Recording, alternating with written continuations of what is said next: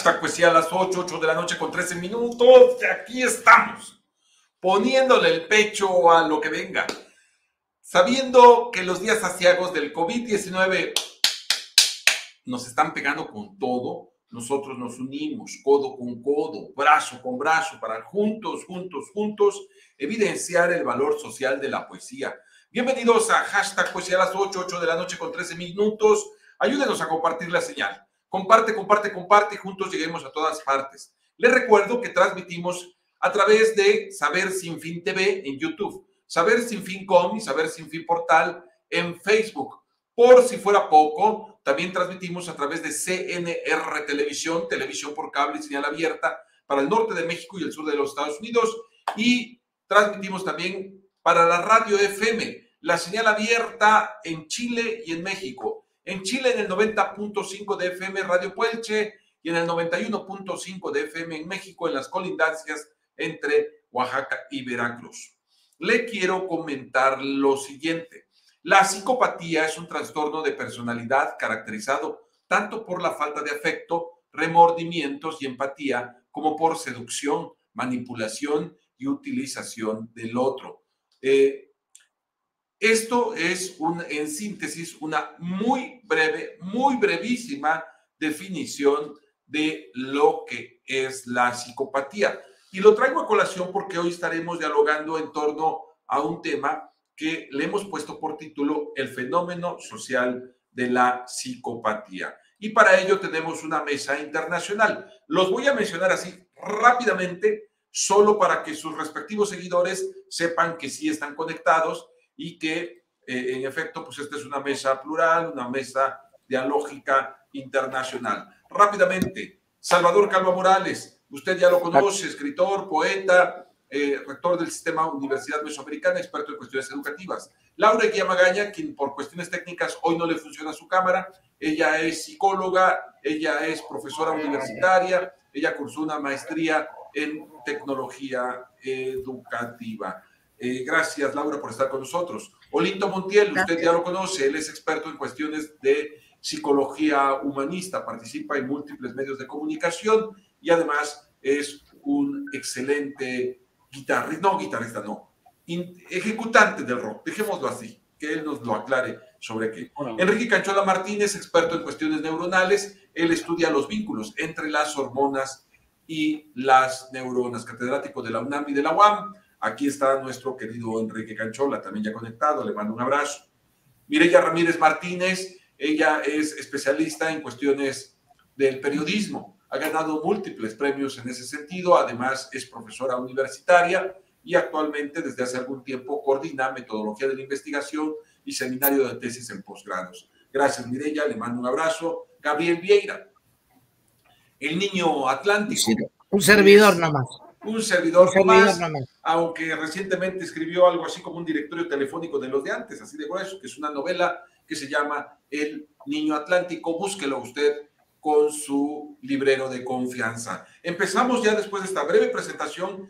Eh, Miguel Peraza se disculpa. Miguel Peraza no podrá estar con nosotros. Ha mandado un cordial saludo a toda la mesa. Está con diferentes compromisos. Mapero, no sabemos si esté arriba o esté abajo, pero de un momento a otro puede llegar. Le mando un abrazo, espero que se conecte y tal vez tengamos una sorpresa desde Mar del Plata. Mireya Ramírez Martínez, hashtag poesía a las 8. Adelante, Mireya, estamos en los herejes. Muy bien, pues eh, es muy interesante el tema que hoy vamos a analizar porque eh, pareciera que el asesino serial al que generalmente se le califica como una personalidad de psicopatía pudiera ser un monstruo aberrante pero la verdad es que son, en todos ellos tienen una personalidad atrayente que hace que se puedan rodear de, y que gocen inclusive en algunos casos de prestigio social, que es lo que les permite acercarse a sus víctimas. Sin embargo, su reacción y su forma de relacionarse con respecto al resto de la sociedad es más bien frío, distante, le llamaríamos inclusive utilitario, pero no dejan de ser personas brillantes el tema y la pregunta que flota en el aire y que en esta ocasión nos reúne en la mesa es hasta dónde dentro de esta sociedad estamos contribuyendo entre el confinamiento obligado entre las relaciones distantes de familia, porque desde hace varias décadas las mujeres se han incorporado de lleno al trabajo y no existen las condiciones legales, laborales, para poder ejercer esa maternidad de manera adecuada. Entonces, la pregunta es, ¿la sociedad, en esta sociedad en la que vivimos, estamos contribuyendo a generar esas, esas eh, características de psicopatía en las nuevas generaciones? Hashtag poesía a las 8. Hashtag poesía a las 8, 8 de la noche con 19 minutos. Eh, repítenos la pregunta, Mireya, por favor. En la sociedad actual en la que vivimos y de la que todos participamos, porque no podemos hacer señalamientos de un lado o de otro. Finalmente, todos formamos parte de esa sociedad. ¿Estamos contribuyendo a la generación de psicópatas? ¿Cómo, cómo en esta sociedad en la cual vivimos se está cultivando psicópatas? ¿Estamos cultivando psicópatas? Eh, digamos como una especie, como si tratara de un inverdadero. Gracias, Mireya. Regreso un momento contigo. Hashtag poesía a las 8. Enrique Canchola Martínez. Adelante, Enrique. Gracias. Yo creo que no se cultivan las, las psicopatías. Las psicopatías desde el punto de vista neurológico, desde el punto de vista de las neurociencias, son alteraciones cerebrales, son alteraciones de neurotransmisores, son alteraciones eh, genéticas que obviamente también pueden ser, eh, ya teniendo todas estas, esta gama de posibilidades, pues viene un estímulo ah, social y puede provocar eh, el afloramiento de esto, pero hay una predisposición genética, una predisposición nerviosa, una predisposición eh, hormonal y de neuroquímicos. Entonces creo que es eh, muy importante esta cuestión, de manera que no estaría yo de acuerdo que estamos cultivando, sino que estas, ah, esta afectación de la psique, pues obviamente aflora cuando hay una predisposición neuroquímica, que es una alteración ah, del cerebro y también creo que se han dicho muchas falsedades. Ah, se ha escrito en forma uh, consuetudinaria que no presentan alteraciones de las funciones cognitivas. Ah, eso es eh, una información, digamos, eh, popular, pero desde el punto de vista de las neurociencias, se sabe que eh, sí tienen alteraciones de atención, tienen incluso algunos tics nerviosos, como el síndrome de Tourette, o tienen alteraciones del circuito de las emociones, ah, no se expresan adecuadamente sus emociones y creo que es importante recalcar estos aspectos que nos permiten efectivamente pues abordar cómo la, ah, la sociedad, eh, las alteraciones de las relaciones sociales son capaces de provocar eh, el afloramiento de una personalidad eh, psicópata que obviamente son sujetos retraídos, son sujetos con alteraciones muy, muy importantes y eh, creo que es eh, importante mencionarlo. Eh, también es importante mencionar que las, los cambios a nivel del metabolismo pues provocan también este problema, particularmente cuando abordamos, como dice Luis Ángel, los cambios epigenéticos. Los cambios epigenéticos son ah, cambios en el metabolismo sin necesidad de alterar el DNA, pero sí de alterar los neurotransmisores, de alterar todas estas químicas cerebrales de dopamina, de serotonina, y creo que es importante mencionar que la personalidad eh, eh, del psicópata ah, obviamente está relacionada con ah, eventos que son capaces de alterar el cerebro, por ejemplo, la drogadicción, el alcoholismo, ah, la, violencia, el terrorismo actual. Y también eh, se ha mencionado que ah, la, el exceso de trabajo puede provocar también eh, una alteración de la mente eh, el ruido, los sedantes, los estimulantes, etcétera. Entonces creo que, o el confinamiento social, creo que es muy importante mencionar todas estas cuestiones multifactoriales que determinan la personalidad eh, psicópata. Eh, pero pues es, es muy importante ubicarse en esos terrenos. Hashtag poesía a las 8, 8 de la noche con 24 minutos. Solo tengo una pregunta breve para no extendernos más, Enrique. Entiendo por lo que nos estás diciendo que son, bueno, queda claro que son múltiples los factores que propician una personalidad de este tipo. ¿Es correcto hasta ahí, Enrique? Sí, correcto. Muy bien. Ahora, socialmente, las condiciones que imperan en la sociedad son propiciadoras del, del detonamiento de personalidades de este tipo, Enrique? Eh, no en todos los casos, necesita haber una predisposición de algunos factores. O sea, eh, eh, hay una predisposición genética, por lo menos algunos dicen que, es, que es necesaria una predisposición genética. Entonces, estamos hablando que ante los tipos que tienen una predisposición genética y viviendo en una sociedad como en las que vivimos, ¿son propiciadoras de que se detonen esos fenómenos? Así es, justo como lo acabas de mencionar.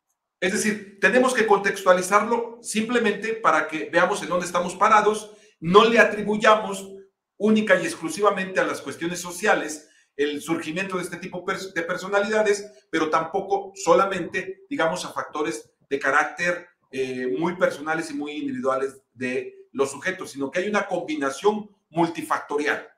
¿Es eh, correcto? Correcto,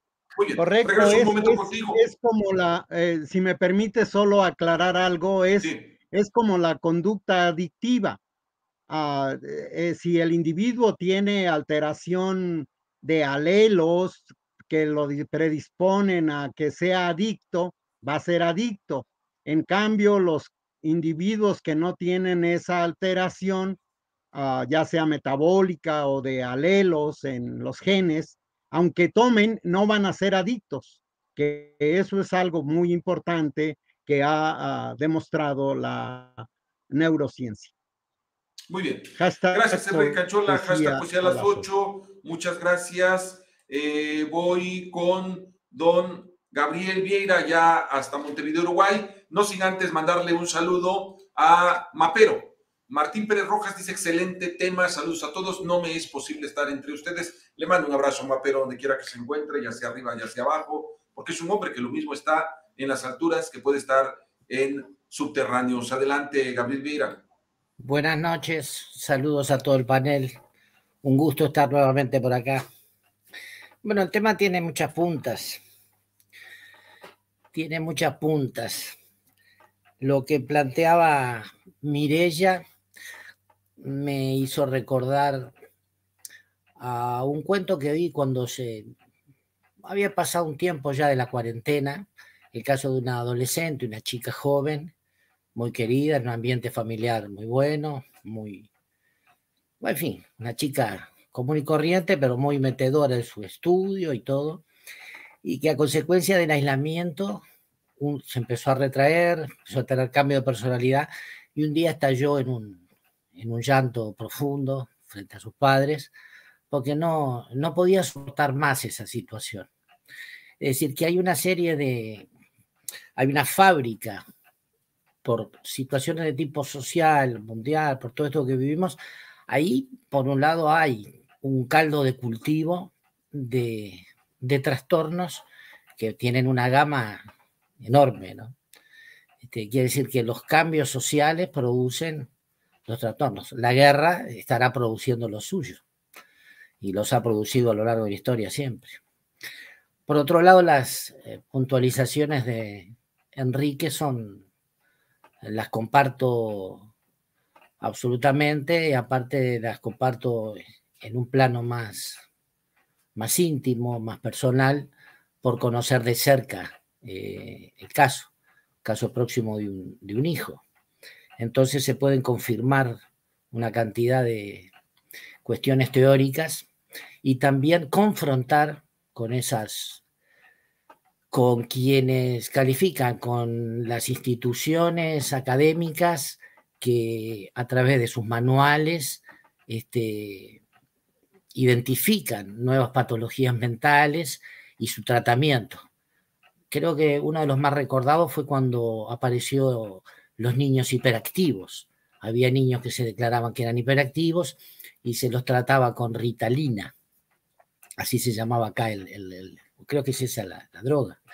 Entonces, por un lado están los hechos que determinan la propia biología y la neurociencia ha identificado. Por otro lado están los fenómenos sociales que crean situaciones conflictivas. Y después están los que determinan qué es estar, qué no es estar eh, en el marco, eh, dentro de un diagnóstico, o sea, quién define lo que es una alteración mental, y después su manejo social su manejo a través de la medicación, que es un tema muy complejo, muy complejo, o si no, con los sistemas de reclusión. Entonces, hay una gran escala, hay, hay una, gran, una gran diversidad de, alteraciones, de situaciones que, bueno, que dan esa cosa que es individual, que cada caso, cada, cada alteración es, distinta. En algunos casos esas alteraciones psicóticas o psicopáticas se hacen sociopáticas, este, que son los que reía Mirella en su alocución. Son personas, y en el caso, caso muy próximo que conozco muy, muy, muy de cerca, como a través de Internet, eh, durante la reclusión y antes, aparecieron muchos individuos capaces de tener una gran manipulación sobre, sobre los adolescentes. Y bueno, esos individuos también padecen de alguna forma algún tipo de desequilibrio. Pero hay casos y casos, ¿no? Porque a veces un vivir, por ejemplo, los artistas, es propio del artista vivir verdaderos procesos esquizofrénicos que dan como resultado obras de, del carácter que fuera, del arte que practicara el, artista. El proceso dio eso, pero esa persona no se transforma, ese proceso no se transforma en una entidad, en un individuo que es un esquizofrénico, un psicótico, un paranoico, lo que, la clasificación que fuera.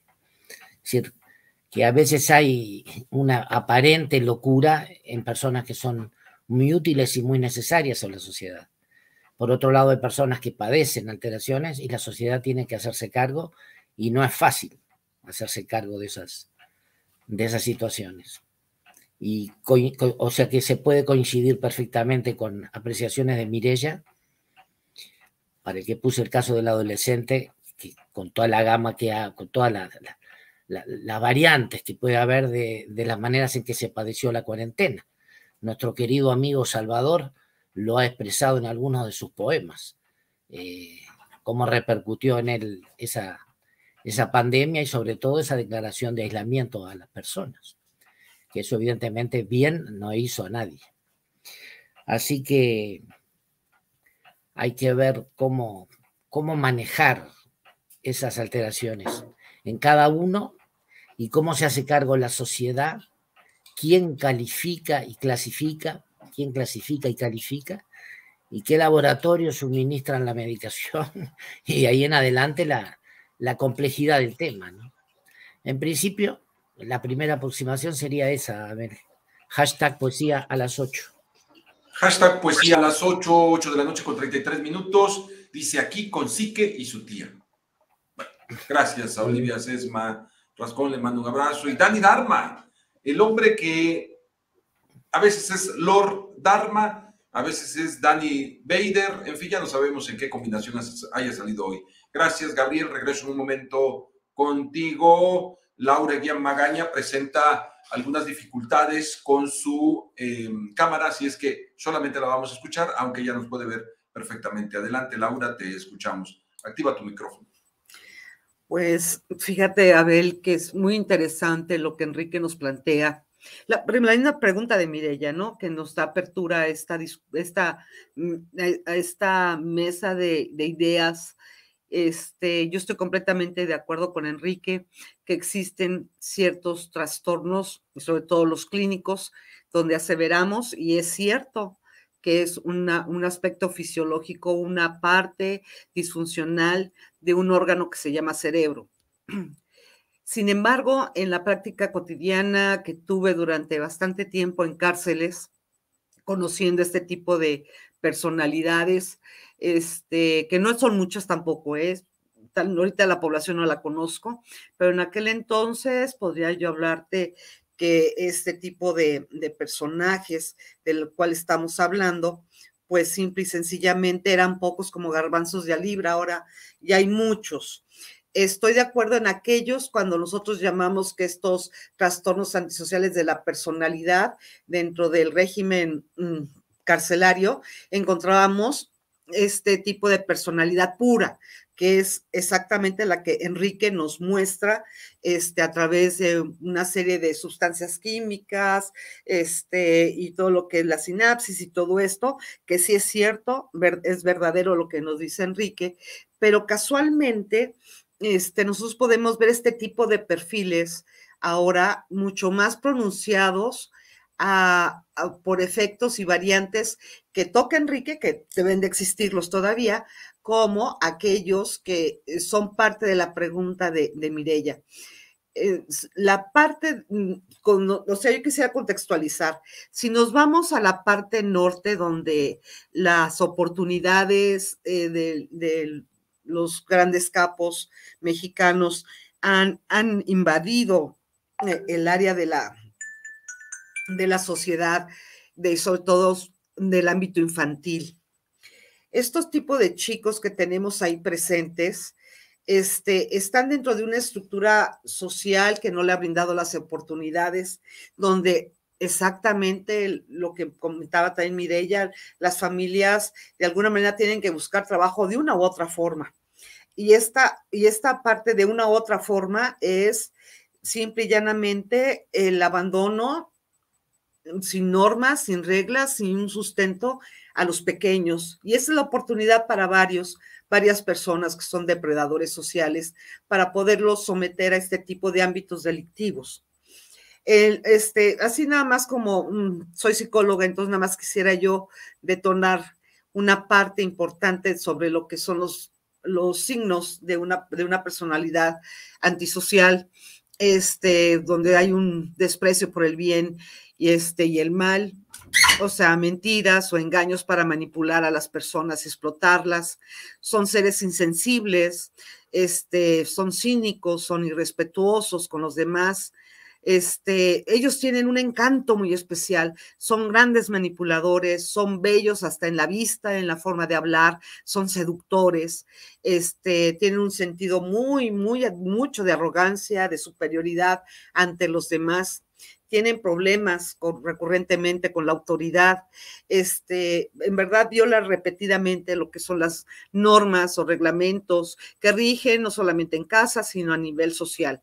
Este, son impulsivos, presentan ante la, poca resistencia a la frustración que tienen y a la plenitud de, querer satisfacer necesidades, pues presentan una gran hostilidad, ¿no? Irritabilidad muy importante, una agitación, agresión y violencia.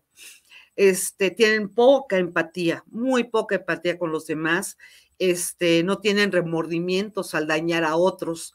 En esa forma, este, la culpabilidad no se presenta ante ellos. Ellos accionan su, accionan el gatillo del acto y no se, no se entretienen en pensar, este, pobre gente, lo dejé sin padre, los dejé sin casa, los dejé sin dinero, sin coche, no importa, eso, eso, eso es lo de menos. Lo que se van es a la prontitud de la satisfacción y el goce. Este, pues como dijera Aristóteles, ¿no? Se va mucho por la, por el deseo, ¿no? Y la satisfacción del mismo. porque ellos durante mucho durante su periodo de infancia, pues se los llevó a la frustración, al no goce, al no cuidado. hay cosas que permanentemente pudimos ver en forma estadística en este tipo de personajes donde este, las, no, no, no había un madre y un padre que rigieran este, tal vez en forma física y cuando la vi en físico estaban perdidos en sus propios asuntos, que pueden ser múltiples factores, pero los hijos estaban sustentándose como hierba en el campo, ¿no? Sin ninguna norma ni regla. Este también son presencia en la violencia, viven con ella continuamente. Entonces, cuando llegan a ser adultos, pues simplemente buscan la gratificación. No es el desquite, es, es otra cosa, porque muchos piensan que la, la pobreza o este tipo de eventos en la niñez, lo que van a hacer es desquitarse con la sociedad. No, no estoy hablando de eso. Ellos no van por eso, ellos van por un gratificador propio este, por obtener lo que no tuvieron en su momento a cualquier coste, en cualquier momento. Este, sus relaciones con los demás sí son pobres, ¿no? Muy pobres y son abusivas aparte, saben seducir para abusar, del otro. Este, ellos no piensan en las consecuencias negativas de sus actos, simplemente buscan la satisfacción. Son generalmente irresponsables, este, y en verdad tienen, tienden a fallar repetidamente en el cumplimiento de sus propias obligaciones, responsabilidades. Ellos no entienden de eso. La única responsabilidad están, están fijadas en aquella satisfacción de responsabilidades, de, digo, de satisfactores propios para poder tener esa emoción gratificante, no importando el costo ni nada de esto.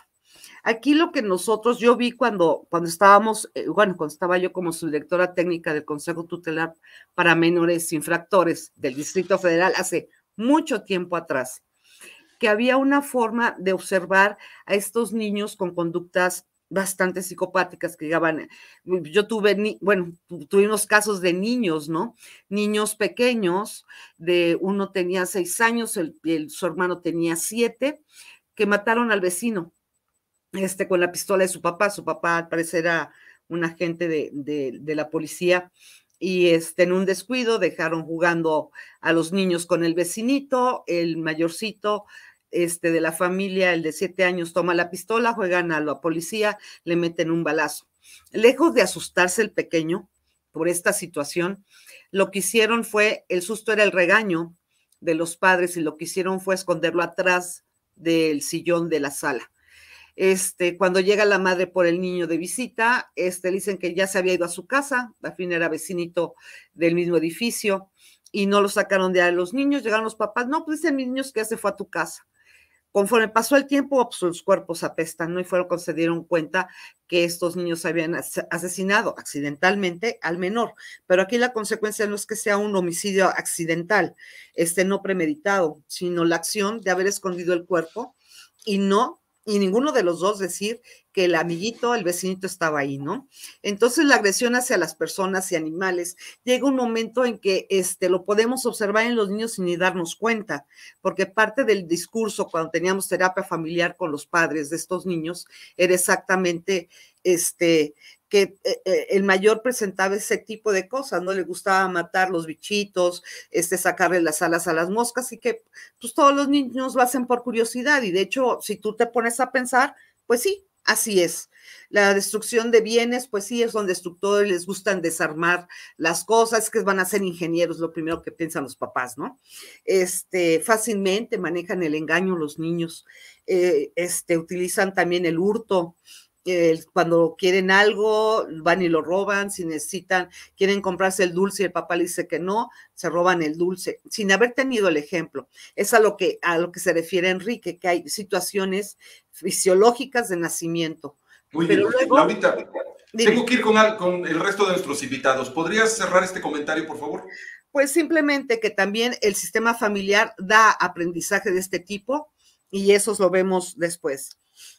Muchas gracias. Hashtag Poesía a las 8. Regreso en un momento. Eh, también tengo a Olinto Montiel y está Salvador Calva esperando turno. Adelante, Olinto. Activa tu micrófono. Sí, hola, los saludo con mucho gusto a todos, a quienes estén escuchando y a la queridísima mesa. un tema sumamente interesante, sumamente interesante, eh, porque las características que, Laura comentaba eh, son muy distintivas de estas personalidades, que bueno, e, este, este asunto está catalogado en la Biblia de los psiquiatras y los psicólogos clínicos, en el DSM, el último alarido de la moda creo que es el 5, este, como trastorno de la personalidad antisocial, ¿no? Y eh, pues es, muy interesante porque tiene implicaciones eh, que van desde eh, personalidades muy, muy llamativas, brillantes, porque son las personas catalogadas o digamos diagnosticadas o que tienen estas características, el psicópata o el sociópata, pero sobre todo el psicópata, tienen personalidades muy, muy magnéticas, son personas que son, muy inteligentes, en especial el psicópata mm, observa eh, todo a detalle. Algo que a, la personalidad psicopática le interesa es el poder. Y, de ahí lo, lo, que tiene de implicaciones esto a nivel político, incluso social, es verdaderamente grave. ¿Por qué? Porque como al psicópata le interesa el poder y no le importa atropellar a su madre si es necesario, eh, figurativa, y a veces puede ser hasta literalmente, amigos, entre comillas, eh, no le va a importar. ¿Por qué? Porque como ya lo comentamos, o ya lo comentaron compañeros, el psicópata no tiene remordimiento alguno. En lugar de un corazón, metafóricamente hablando, tiene un hueco. Lo que tiene son intereses. Lo que quiere es, el poder, la notoriedad, y por eso son tan notables, son, es personalidad, son gente bella incluso, son muy cuidadosos en sus personalidades, en su vestir, eh, son, tienen muchos amigos, se destacan en las, en las conversaciones, en, las reuniones, eh, luego, luego, entonces, em, muchas personas admiran a los, a los psicópatas. El peligro que yo veo aquí es que como les encanta el poder y no les importa cómo, lograr eh, puestos en las empresas, en las organizaciones, en instituciones, en, eh, en, la política, sobre todo en la política, es ahí viendo donde viene lo grave. ¿Por qué? Porque creo yo, y si no, pues tal vez no estén de acuerdo, pero me parece que un gran porcentaje de políticos son psicópatas, ¿sí? Eh, son psicópatas porque si nosotros vemos, lo único que les interesa es eh, la notoriedad, el poder, hacerse de mucho dinero, de, mucho, de mucha influencia, pero no les importa, ¿sí? No les importa el, país, la población, no les importa un comino, no les importa nada. Aparentan, porque son muy inteligentes, son diestros en el lenguaje, son, son eh, eh, muy inteligentes, muy hábiles para eso. Em, entonces, oh, perdón, perdón, perdón, perdón, porque está entrando una, llamada, eh, son muy inteligentes, muy abusados en términos políticos, eh, van a llegar al poder. Por eso muchos, muchos, muchos este, psicópatas son eh, pues diputados, senadores, presidentes de, países. Díganme si no, ¿qué, es, qué personalidad se necesita para decir que un país tiene armas de destrucción masiva, cosa que jamás se comprobó y que ya se sabía, ¿sí? Y tener como pretexto para ir a bombardear todo un país. ¿Qué personalidad, qué tipo de, de, gentuza, de ser tiene que ser para ir a bombardear aldeas con, gente, con napalm, para tirar dos bombas atómicas, atómicas en Japón, o para invadir Polonia y luego Rusia, ¿sí? como el caso de, Hitler, o como tantos y tantos y tantos eh, déspotas, tiranos, presidentes, que, no tienen reparo alguno ¿sí? para, para implementar sus acciones, sus políticas, con tal de obtener poder. Yo creo, por eso, personalmente, que, que, yo no creo en los políticos, porque me parece que de 10, y a lo mejor estoy, estoy viéndome corto, si acaso uno, mejor dicho, de 100, si acaso uno o dos son personalidades verdaderamente honestas, humanas, La mayoría, y lo estamos viendo todos los días en el escenario político. Veamos las conversaciones que acaban de salir de, este señor del PRI, ¿sí? Eh, ¿Qué anuncia? Es pues una personalidad así. ¿Ustedes creen que a este sujeto le interesa a la población, beneficiar a la gente? No, no, no, o sea, no, por supuesto que no. Hay muchas manifestaciones, muchos lugares donde se, donde se meten, donde escalan. Hay jefes déspotas o, repilantes, esos jefes odiosos que, no, que, que todo mundo los odia. Y hay, una, hay una, un área muy particular y muy dañina que es precisamente cuando son pareja o padres de familia. Ciertamente, como pareja, eh, hay de aquel hombre o mujer que tiene, o de hombre a hombre, lo que sea, que tiene como pareja un psicópata. Normalmente se sabe que el psicópata tiene a su pareja el, complementario, se le llama, o la complementaria, ¿sí?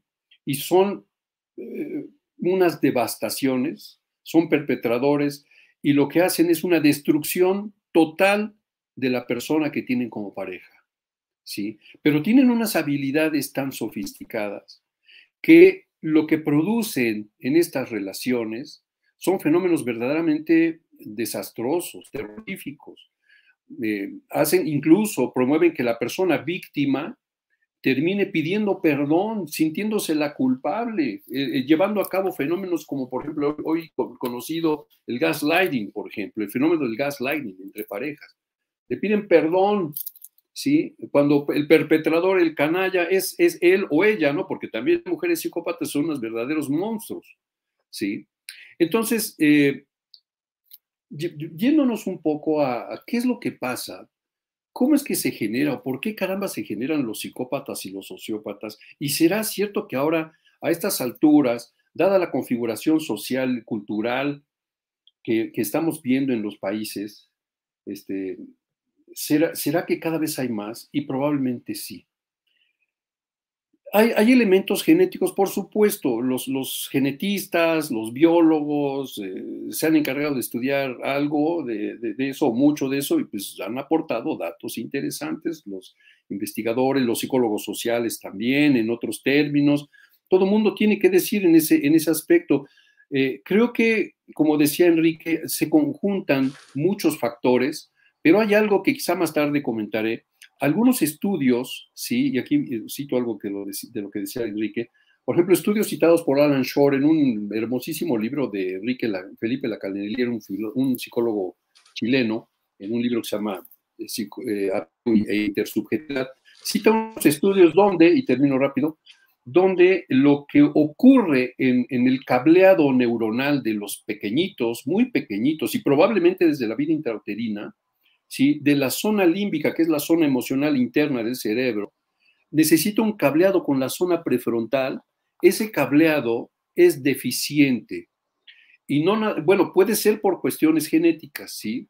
En esto de los alelos que citaba Enrique, o, puede ser también epigenético. El chiste es que el cableado no es el adecuado, porque esta zona que tenemos acá es la que nos permite evaluar moralmente, ¿sí? Si mi conducta o la conducta de otros es adecuada o inadecuada. Bueno, pues ese cableado es muy defectuoso. Entonces, si eso ocurre, haga lo que haga, no me estoy dando cuenta, no, no soy incapaz de evaluar mis propias acciones, ¿sí? Y, de, y por lo tanto, de, de, tener, por ejemplo, remordimiento o cosas así. No, no, no hay posibilidad. Y, y el, el, psicópata no tiene remedio. No hay manera. es, un, es un tema complejo muy complejo. Y creo que cada día hay más. Y eso, bueno, esto abre la puerta para otros comentarios. Muy bien. Polito, voy con el resto de los compañeros y regreso contigo en un momento. Vamos, vamos. Salvador Calva Morales, te veo tomando eh, nota, te veo eh, reflexivo, pensativo, te escuchamos. Yo no soy psicólogo, eh, para mí el tema es importantísimo, sin embargo, yo tenía entendido que esto solamente se daba en jóvenes de 18 para arriba y adultos, en niños no. Estoy sorprendido de escuchar a los compañeros hablando sobre situaciones psicópatas en niños. Este, me viene a la mente ahorita pensar que han de haber escogido muy bien a los que eh, se estrellaron en las Torres Gemelas. Seguramente eran psicópatas que pues que los tenían bien preparados para hacer este tipo de situaciones. Sí, es gente que, pues que muchas veces los hemos tenido cerca. Eh, no podemos eh, eh, atinadamente dar un diagnóstico, ni mucho menos, pero pues siempre nos retiramos pensando, pues creo que es un psicópata este cuate, ¿no? O sea, dependiendo de, sobre todo cuando vemos que hacen daño sin el remordimiento alguno. Este, a mí me, no me queda claro esto de los niños, sin embargo, insisto, eh, soy ignorante en el tema por la situación de que no soy psicólogo, pero he aprendido mucho en este momento y si, si hay este, psicopatía infantil, caray, pues este, vamos peor cada vez en la sociedad. Pero sí creo que la sociedad eh, influye mucho. Ahorita sería un interesante artículo sobre en la, transpandemia. Yo creo que así como hablé de otro tipo de problemas que se han desatado en la transpandemia, yo creo que también se ha desatado eh, más psicopatía eh, por situaciones sociales, eh, por angustia, por la falta de economía, por, por muchas cosas. Entonces sí, sí se afecta, se afecta por la parte social. Entonces todo esto, pues es sorpresivo en, en algunas cosas que acabo de escuchar y comulgo con el criterio de todos ustedes porque pues este, atinadamente el tema está hecho para eh, mi querido caballo de Troya, Canchola, para Olinto, para esta, pues para las dos mujeres que están hablando, eh, que han tenido la experiencia eh, en reclusorio, etcétera, etcétera. Así que, pues los admiro y, me quedo con algunas dudas que valdría la pena ver si es posible que se resuelvan en este panel todavía antes de que se acabe el programa. Hashtag poesía a las 8. Hashtag poesía a las 8, 8 de la noche con 55 minutos. Les recuerdo que estamos dialogando en una mesa eh, multidisciplinaria sobre el fenómeno social de la psicopatía. Eh, le mando un abrazo Magdalena Estrada, dice lamentablemente es un problema social tremendo de una actitud consciente de personas poderosas. Gracias, Sebastián Giancarlo Albuquerque Trujillo dice, ah, ah, sí, causa, o se refiere a las causas. Bueno, voy a eh, propiciar que haya un diálogo eh, entre algunos de los compañeros para que eh, podamos avanzar en este tema. Ya veo conectado Mapero. Oh, rápidamente, mi querido hermano, te pido tu comentario, por favor. Hola, ¿qué tal? Muy buenas noches. Eh, pues no, me es posible conectarme por medio de la cámara por algunas razones de restricción. Pero eh, el, tema es muy interesante. Eh, estoy escuchando con, mucha atención. Me, separé ahorita un poquito aquí del trabajo. Y mi pregunta es, o mi planteamiento es, si todos, en este caso Canchola, Laura, los especialistas, si todos tenemos un grado de afectación o todos nos conducimos eh, por la vida cotidiana con un grado de afectación, con un grado de psicopatía, en el sentido que la, sociedad en conjunto se va conduciendo con, demasiada prisa, eh, con demasiada insensibilidad. Hoy en día se toma como algo cotidiano la nota del asesinato, se toma como algo cotidiano el asalto, se toma como algo cotidiano la violación, la desaparición de, personas. Y obviamente esto va agregado hacia alguien que lo ha provocado, alguien que lo ha hecho. Pero, ¿en qué momento en qué momento nosotros hemos estado inmersos en una parte, eh, vamos, eh, mínima de afectación. Por el mismo entorno social, por el mismo entorno laboral, hasta qué grado nos hemos afectado. Porque obviamente eh, la sociedad en conjunto desmarca inmediatamente quienes tienen cierto perfil y por eso se conducen a ciertas instituciones bajo eh, la lupa de los especialistas. Pero ¿cuántos y cuántos tal vez tengamos un grado de afectación y nos conducimos en el día a día y pasamos eh, desapercibidos o bien, como hace un rato lo, mencionaba, eh, si no mal recuerdo, Salvador o Olinto, que decía que, cuántos y cuántos están a nuestro, o codo a codo, o a un costado, y no tenemos la más mínima idea de esa afectación. Por eso a mí me deja inquieto el tema, eh, porque, repito, esa insensibilidad con la que nos conducimos a diario, esa parte que, que hoy en día lo vemos como algo cotidiano. Laura hace un momento comentaba que hace algunos años, estando en el tutelar de, menores, la, conducta que llevaban algunos, algunos jóvenes, algunos niños, y que posteriormente son los, los grandes actores de las desgracias. Pero eh, el entorno en sí, ¿hasta qué grado nos está afectando al resto de la sociedad? Hashtag poesía a las 8. Hashtag poesía a las 8, 8 de la noche con 59 minutos. Le agradezco a Mapero sus minutos y el esfuerzo que está haciendo para conectarse. Gracias, Mapero.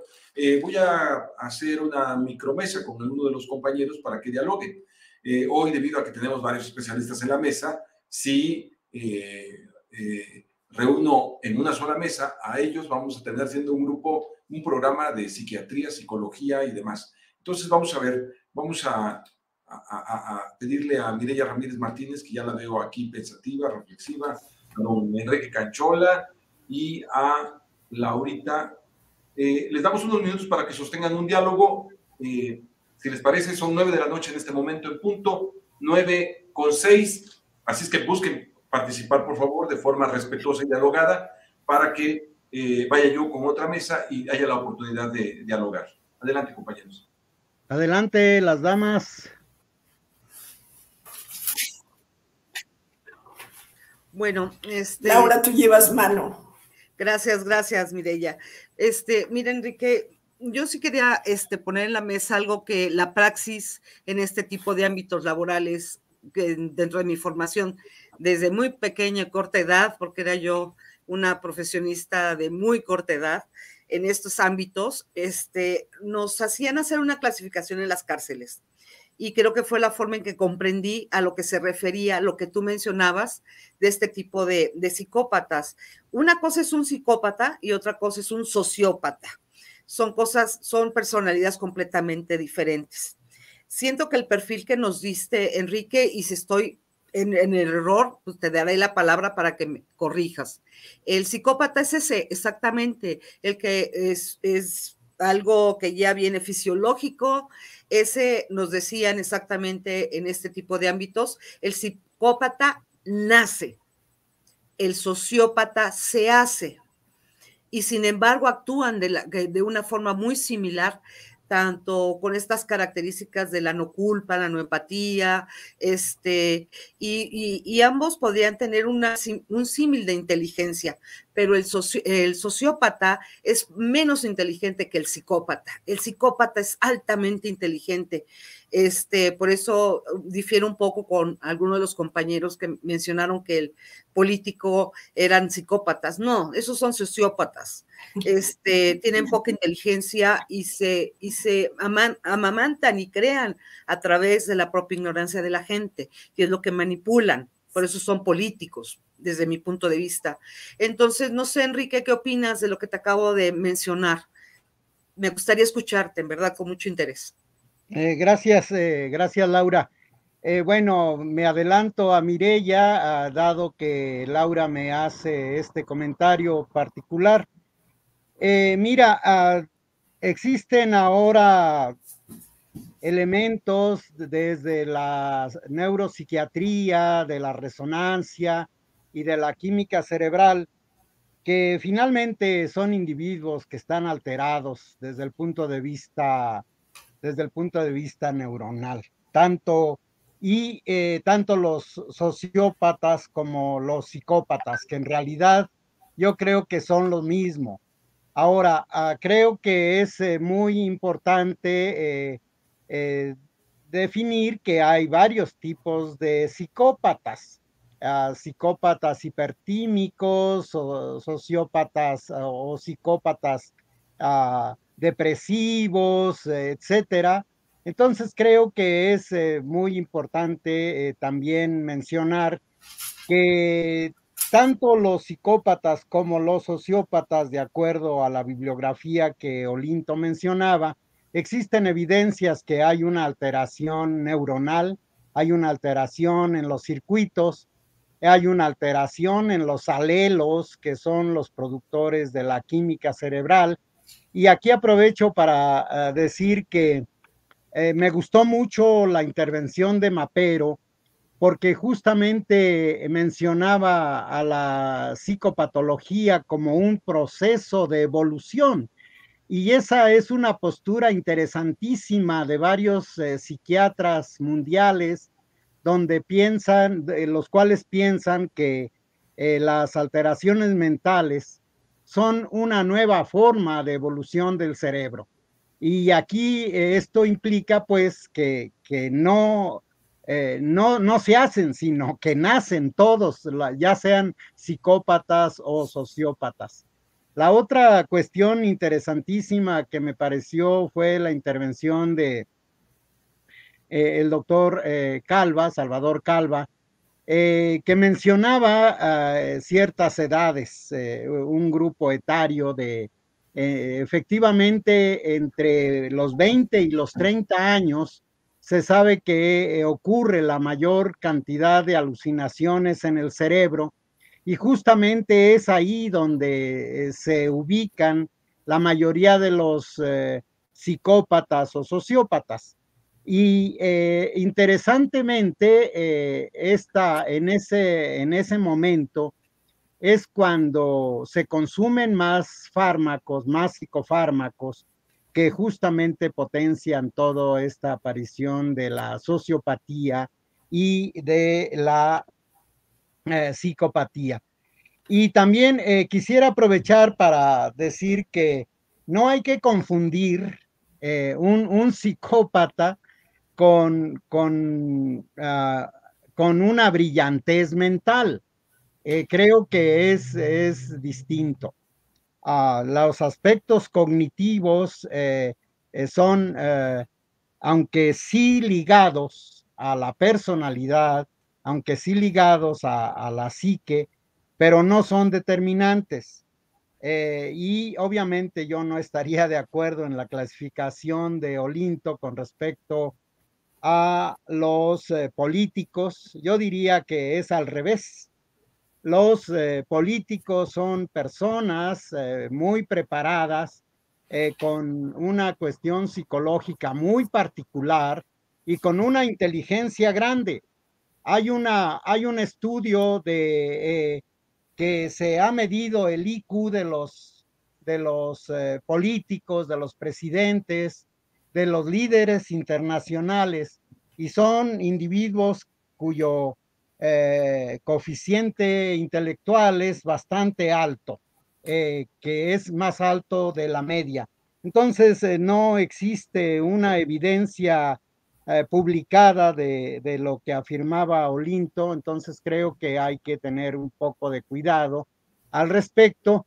Y también la otra cosa interesantísima de un artículo reciente sobre la eh, los hombres eh, sedados, somos una generación de individuos sedados, que estamos sedados por cuestiones de laboratorios, por cuestiones económicas, cuestiones sociales, ah, pero particularmente por cuestiones políticos, sociales eh, y económicas que son muy importantes. Entonces creo que es, muy interesante. Regresando a tu pregunta puntualmente, yo creo que eh, esa clasificación de que unos nacen y otros se hacen eh, no concuerda con los datos publicados hasta este momento.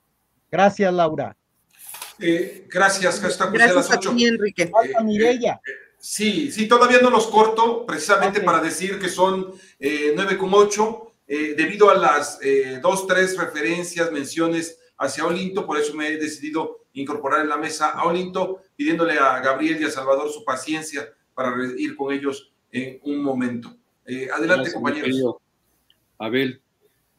Hoy, pues rápido. Eh, no, pues yo no estoy de acuerdo. No estoy de acuerdo porque, tomando en cuenta, solamente tomando en cuenta, y además es una opinión mía, no es ciencia, lo que estoy diciendo no es científico, no.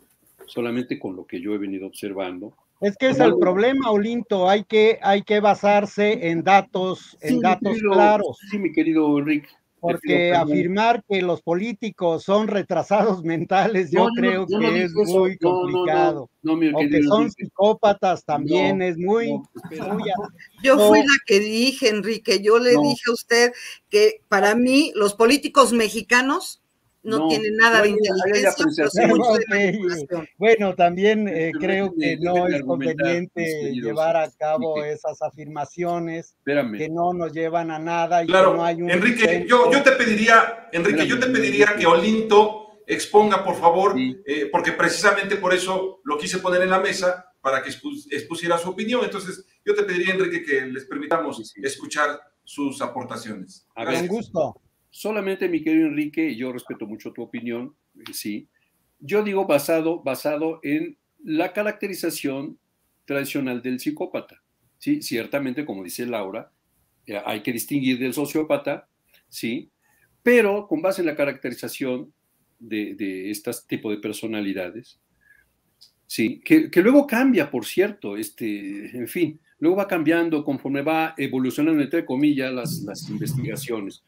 Eh, yo lo que digo es que si tomamos en cuenta que la personalidad del psicópata, entre otras cosas, y una de las fundamentales es su carencia de empatía y no tienen remordimiento alguno, y sí son muy inteligentes, ¿sí? Por supuesto que son, muy, son brillantes, ¿sí? Por supuesto que tampoco el hecho de que alguien sea muy inteligente y tenga un IQ de Einstein no quiere decir que es un psicópata, pues por supuesto que hay que ser bastante tonto como para inferir algo así. No, por supuesto que no. Pero yo sí creo que hay líderes mundiales que son muy inteligentes y que lo que menos les importa es el beneficio de los que representan, ¿sí? Por supuesto que hay, hay políticos torpes a más, no poder y tenemos actualmente para votar muy torpes en sus declaraciones, en sus puntos de vista, etcétera. Pero otros son muy sofisticados y a través de la historia hemos visto casos, ¿sí? De gente de, de, muy, de mente muy brillante, ¿sí? Y que no les importaba invadir países, no les importaba este, acabar con naciones, ¿sí?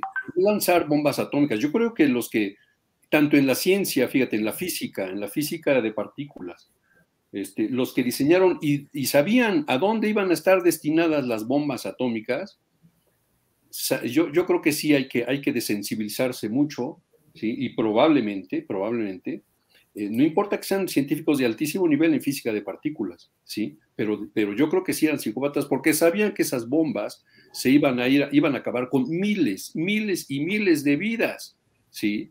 Entonces, los que diseñan armas, por ejemplo, son gente inteligentísima, inteligentísima, ¿sí? Yo hablo de ellos.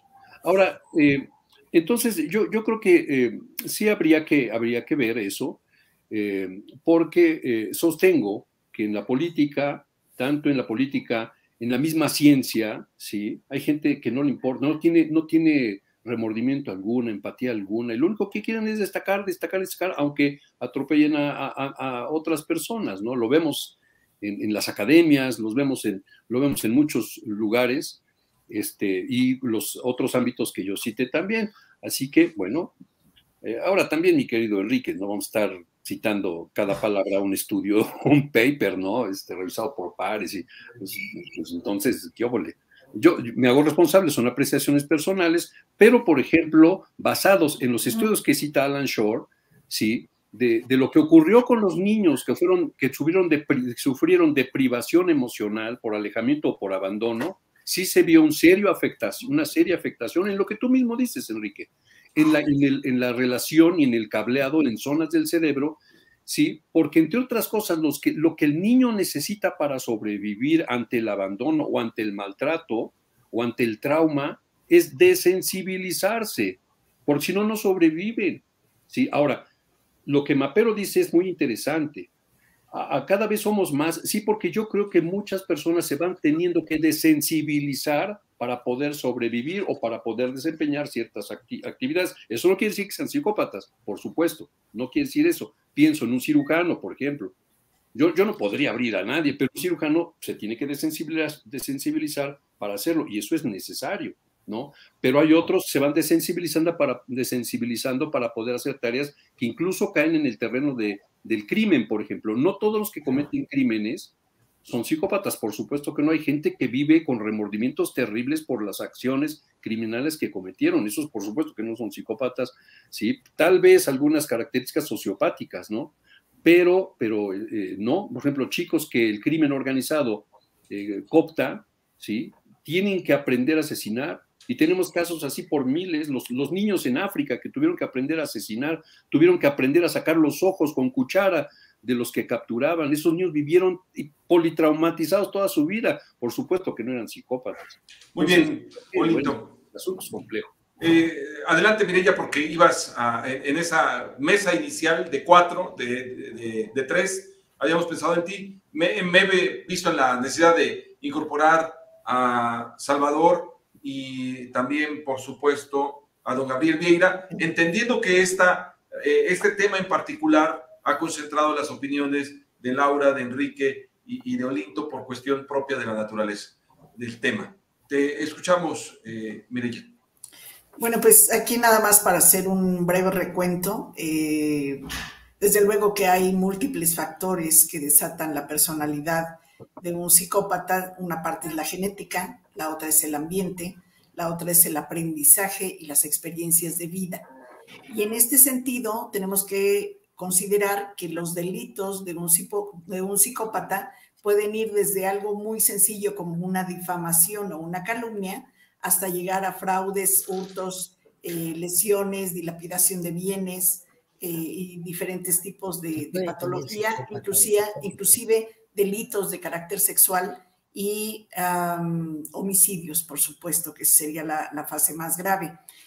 Eh, sobre todo la personalidad, pues es de, frialdad y de crueldad, como ya lo han reiterado aquí, pero la pregunta iba en el sentido de si socialmente estamos contribuyendo de alguna manera y yo quiero saltarme la pregunta, y, o más bien saltarme la respuesta a esa pregunta y llegar justo del otro lado, porque si no, no nos va a dar tiempo de exponer todas las ideas. Entonces, creo que eh, finalmente, considerando que hay psicópatas integrados y psicópatas criminales, muy probablemente todos nosotros tengamos una pequeña porción de, esta, de estos momentos, tal vez de crueldad o de insensibilidad hacia las necesidades de los otros pero al mismo tiempo podemos hacernos responsables, como lo mencionaba Olinto, y empezar a cultivar relaciones mucho más sanas, tanto con nosotros mismos, con nuestro entorno y por supuesto con las nuevas generaciones que nos siguen, ¿no? Ya sean hijos o nietos.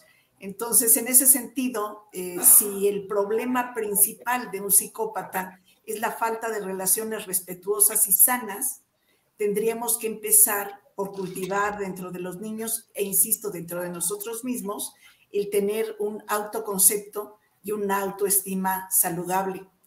Eh, buscar que puedan desarrollar una forma de comunicación directa sin sentirse aludidos por las opiniones de otros, sino sentirse en sí mismos en un concepto de plenitud y de valor que les permita justo relacionarse desde ese punto con los demás y hacerse eh, otro, otro de los factores familiares que en un momento dado contribuye a la generación de la personalidad o a la detonación de la personalidad psicópata es que el niño se le hace sentir incapaz de alcanzar un logro. Entonces, estos aspectos tendríamos que eh, eh, detonar en un sentido opuesto, por supuesto, a las nuevas generaciones, insisto, pero empezar con nosotros mismos y del ejemplo.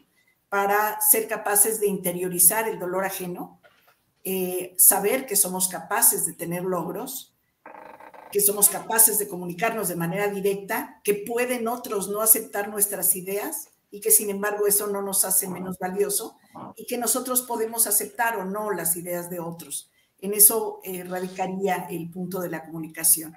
Y por otro lado, habría que poder escuchar a los demás de manera atenta y respetuosa, tener un valor integral del otro. Aquí se me antoja, ¿cómo se me antoja que estuviera eh, eh, Miguel Peraza para que pudiera hablarnos justo de ese hombre cósmico en donde el valor integral del otro es algo absoluto y no mediado por la circunstancia social.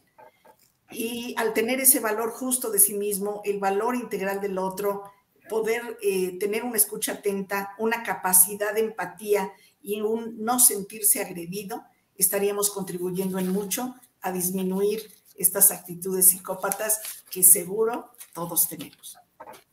Hashtag poesía a las 8. Hashtag poesía a las 8, 9 de la noche con 19 minutos. Eh, realmente por eh, la profundidad del tema, por la cantidad de invitados, que hay quien nos critica y nos dice, deberían ser menos, deberías entrevistar nada más a uno. No, la riqueza es precisamente, aunque breve, contar con ese abanico y con ese arco iris tan importante de opiniones y de comentarios. Creo que hoy nos hemos topado con un tema de muy clara naturaleza para la ocupación de algunos de nuestros invitados, pero eh, los demás estamos expectantes en la posibilidad de aprender esto y no quedarnos, yo les pediría, por favor, que no nos quedáramos solamente en un debate en posturas, sino que tratáramos de ir más allá para eh, eh, dar una eh, posible ruta de esclarecimiento por dónde nos podemos mover cuando vemos que las condiciones están atosigando y cada vez pareciera que hay más un pie sobre el cuello, sobre la nuca, después de esta pandemia y en, esta traspandemia que nos encontramos. Eh, adelante, Salvador. A ver, a mí me gustaría que concluyéramos. Primero, es lo mismo psicópata que sociópata sí estoy, estoy en lo cierto que se da eh, la psicopatía después de los 18, 20 años. Eh, la otra pregunta sería, si nos hacemos, podemos hacer psicópatas a través de los problemas de la sociedad, o sea, concluyan por favor los sabios, porque si no nos quedamos con un programa a medias y no nos interrumpamos, hablemos claro podría ser entre eh, Enrique Canchola y, este, y Olinto, por ejemplo, estas preguntas, igual este, Laura, que tiene tanta experiencia. O sea, para mí es después de los 18 años a 20 años. ¿Es cierto o no es cierto? Es lo mismo sociópata que psicópata. Este, sí influye la sociedad, o, o, todos tenemos la, la predisposición, o nada más es genético, se nace o se hace. O sea, todo eso hay que aclararlo porque dejamos al público al garete. A ver, Salvador, tomamos una pregunta. Mencionaste tres. Dime la primera. ¿Se nace o se hacen? Ok, ¿se nace o se hacen psicópatas y sociópatas o solamente psicópatas? Psicópatas. Luego, psicópatas. a ver, ahí vamos con la primera. Permíteme, vamos con la primera. ¿El psicópata se hace o se nace? Pregunta específica, respuesta en la medida de lo posible eh, sintética, mi querido Enrique, Laura Olinto. Enrique. Adelante, las damas. Laura. El psicópata nace, el sociópata se hace y tiene varias características que Dharma nos estaba dando por el chat. Lo apoyo. Exactamente, Rodríguez Manzanera nos da esas clasificaciones entre psicópata y sociópata. Muy bien, gracias Laura. Enrique. Eh, los datos que yo conozco eh, es que se nace. Ah, hay un componente, biológico en ambas, en ambas patologías. Ahora, el sociópata es, eh, muy, es, una, es una variedad de psicópata, pero más acentuada. Muy bien. Olito. Coincido, coincido. El, eh, hasta donde se sabe, hasta ahorita los datos parece ser que anuncian que el psicópata ya nace, pero yo creo que todavía va a faltar, porque en una de esas eh, vamos a encontrar datos que anuncien que hay, hay, elementos que pueden incidir en la formación del cerebro, eh, elementos, por ejemplo, en vida intrauterina, y que no son precisamente genéticos.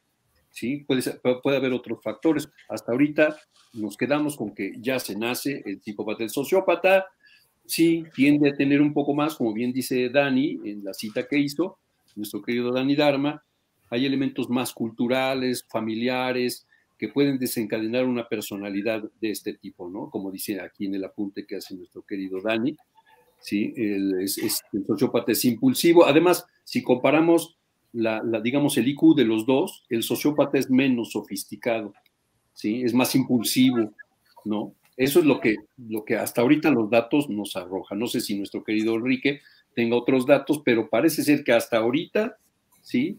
Es eso. Ah, no, no coincido tanto con, con, Manzanera porque si dice que si ya se, se nace, los elementos sociales los quitaríamos de ahí, ¿no? Los quitaríamos desde ahí. Entonces, eh, yo digo que eso es más orientado al sociópata. ¿sí? El psicópata es hasta cierto punto un enigma y un apunte final.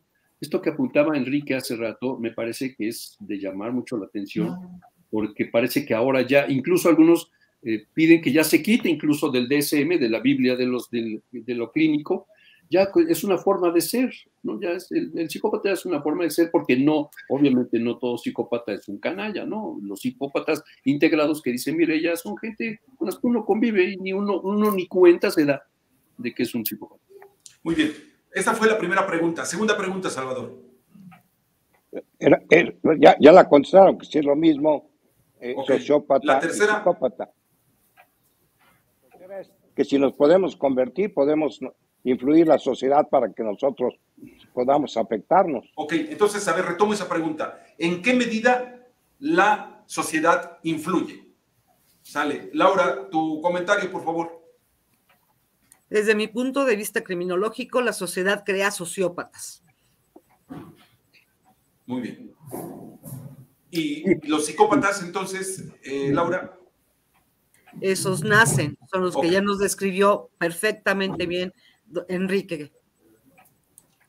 Muy bien. A ver, Enrique, eh, dice Laura, esos nacen, el otro se hace, pero yo lo que entendí en la primera exposición es que hay una inclinación, eh, proclividad genética, sin embargo, contribuyen los, eh, el ambiente social, inclusive en los psicópatas. Adelante, Enrique.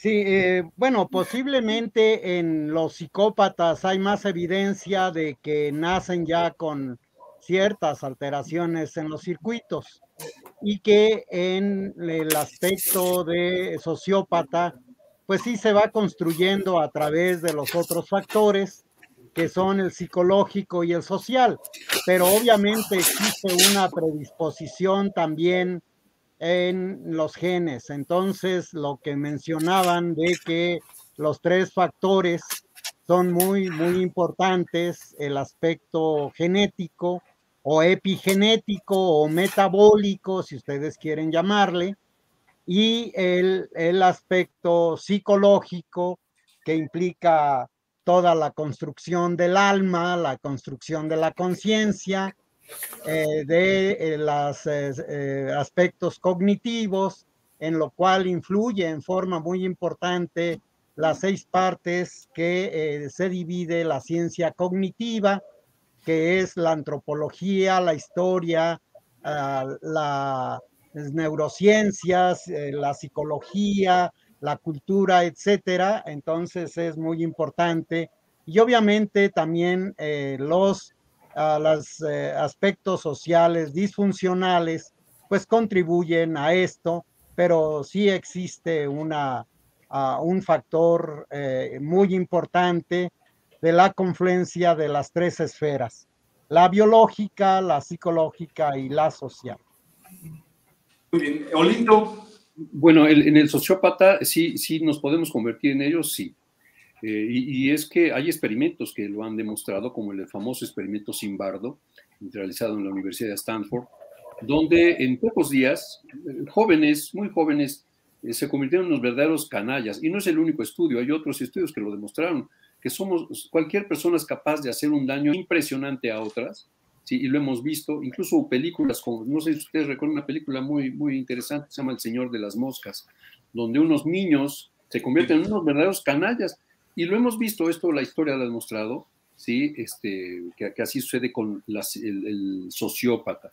Y un saludo, aprovecho un saludo a nuestra queridísima este, Vicky Alfaro, hasta Oceanía, hasta Nueva Zelanda. Muy bien. Eh, han sido tres preguntas que a mí me, queda muy claro que nos han, que han puesto orden en algún aspecto.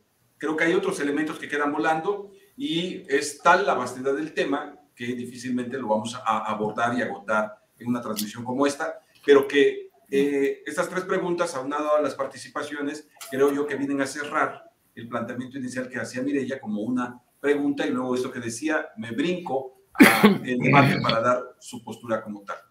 Entonces, son eh, 9 de la noche con 29 minutos, con Gabriel creo que ya son cerca de las 12 de la noche, así es que voy a, a, procurar... 11 y media. 11 y media. Voy a procurar que lo que resta de este programa vayamos cerrándolo y dejando tal vez algunas líneas para futuros programas. Y yo empezaría precisamente con Mapero. Mapero, eh, te pediría un comentario de cierre de esta transmisión. Adelante, Mapero. Interesante. Eh, no, no cabe la menor duda de que es un tema que nos hace reflexionar, independientemente del, del término científico, del término psicológico, eh, insisto, el término vivencial o el, en, el presente, cómo se desarrolla y cómo nos estamos desarrollando como sociedad. Eso para mí me deja eh, muy, pero muy, este, pues, eh, no sé, con los, con, los, con los ojos abiertos y abierto a todo comentario. Hashtag poesía a las 8. Gracias, Mapero, por tu participación y tu comentario. Salvador Calva Morales, tu comentario de cierre, por favor. Bueno, este, pues va muy con mi tesis, este, si, si, si, la sociedad puede influir para esto y podemos serlo, va con mi tesis de cada vez que seamos mejores personas, o sea, aunque sea muy trillado mi, idea sobre que tenemos que hacer actos de bondad, pues yo creo que eso nos va a alejar poder caer en, la sociopatía. Este, pues sería para mí eso y les agradezco infinitamente el conocimiento que han dado todos. Hasta pues a las 8. Hasta pues a las 8, 9 de la noche con 31 minutos, hora del centro de la República Mexicana. Gabriel Vieira, hoy quizás sea el programa que menos hablaste, pero creo que era necesario que se entablara este diálogo entre eh, nuestros tres compañeros. Eh, tu aporte, mi querido Gabriel. Gabriel. No, e-, el hecho de no hablar supone que se está escuchando, ¿no? Y las descripciones de Laura son, provienen de la práctica, o sea, del conocimiento directo de los problemas en las instituciones, en los institutos, donde hay que resolver problemas.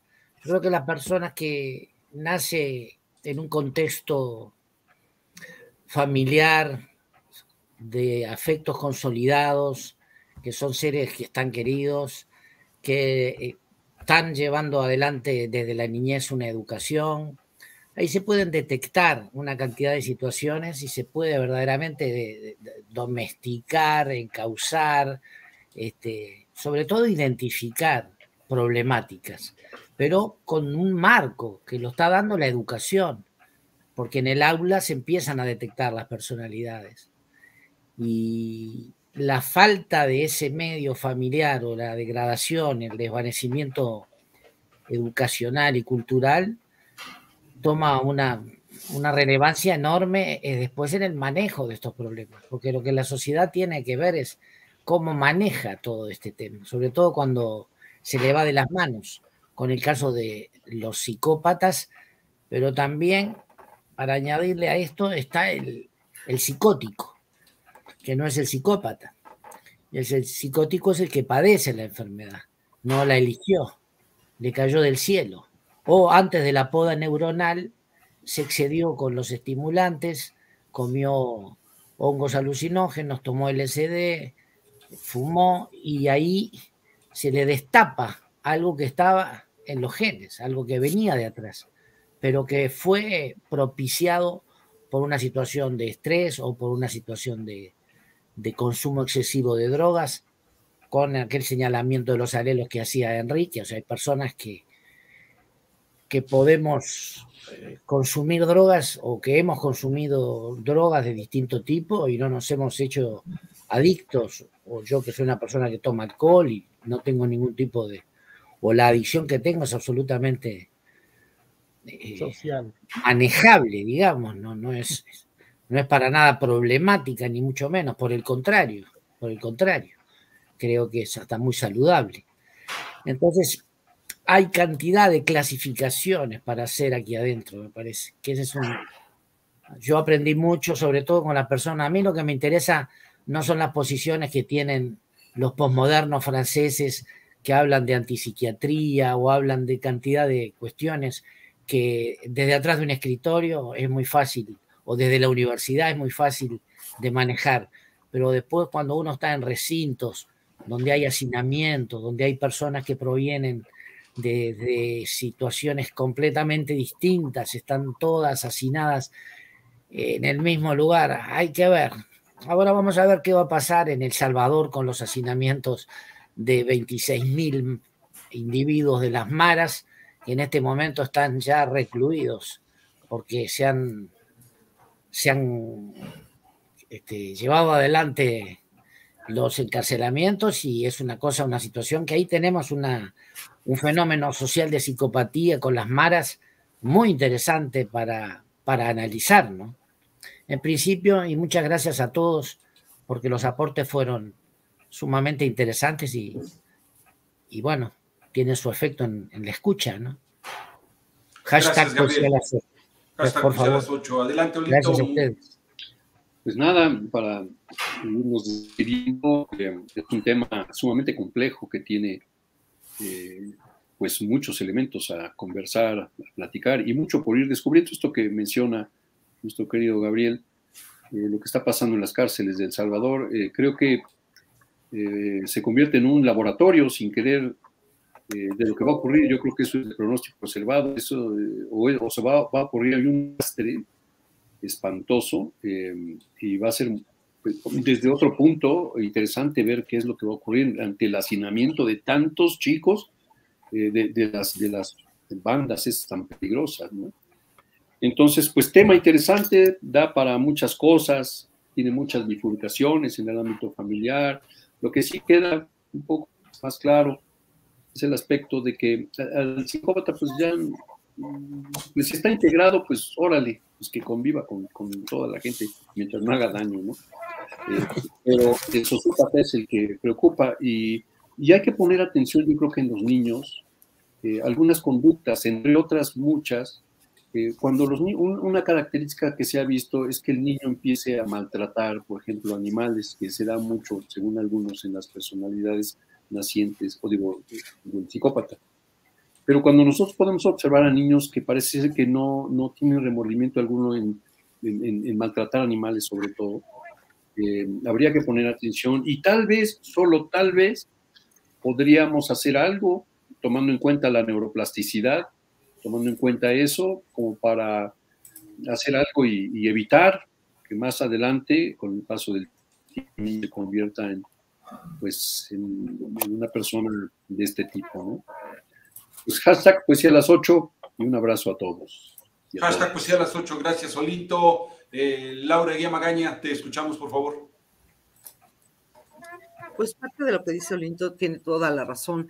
Este, todo esto, sus situaciones familiares donde no norman ni reglan, ni dan límites, ni apoyo, ni soporte, este, pues crea este tipo de conductas completamente enajenantes y que nos tiene aquí platicando.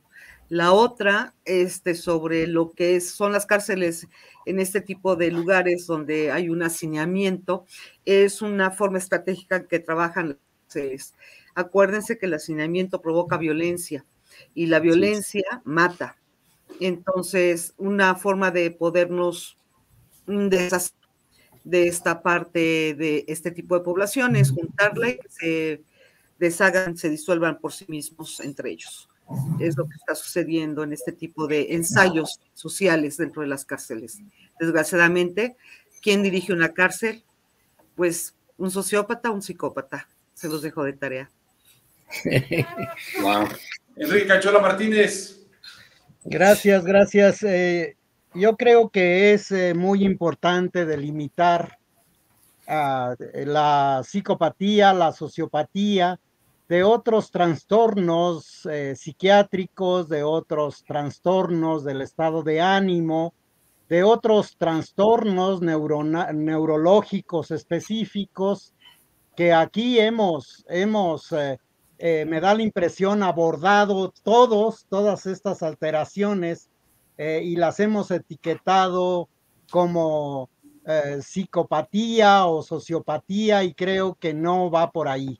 Eh, es muy importante hacer una limitación de todo ello. Por ejemplo, ah, la, psicopatía tiene una distribución ah, de 1 a, a 2% en la población mundial entonces, eh, obviamente es alta, pues, pero ah, no hay que confundir eh, depresión, no hay que confundir agresión, no hay que confundir eh, todas estas cuestiones psicópatas como, perdón, todas estas alteraciones de la mente como esquizofrenia, paranoia, etcétera, con eh, sociopatía o psicopatía, que es muy importante hacer la diferencia. Y creo que eso es lo que nos faltó para centrarnos más eh, puntualmente o incluso oh, esta cuestión de este abordaje no tan preciso, pues incluso ah, nos podría llevar a la situación de que el síndrome de alteración de la atención, pues podría también clasificarse como sociópata o podría clasificarse como psicópata. Y creo que es ahí donde justamente radica esta confusión que mencionaba a nuestro querido amigo Salvador Calva eh, y que se reiteraba con respecto a los grupos etarios. Creo que es eh, muy importante a reflexionar al respecto y eh, además, eh, yo creo que eh, la, la, psicopatía es, es como la inteligencia y la estupidez humana.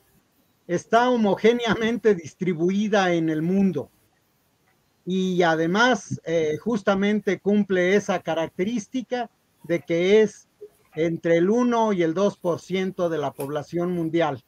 creo que ha sido un tema realmente muy interesante eh, pero desde mi punto de vista ah, abordamos toda la problemática ah, de la mente, toda la problemática mezclada de eh, la psiquiatría y de la neurología, que obviamente eso nos lleva a confundir enormemente todo el tema. Hashtag poesía a las 8. Hashtag poesía a las 8. Adelante, Mireya.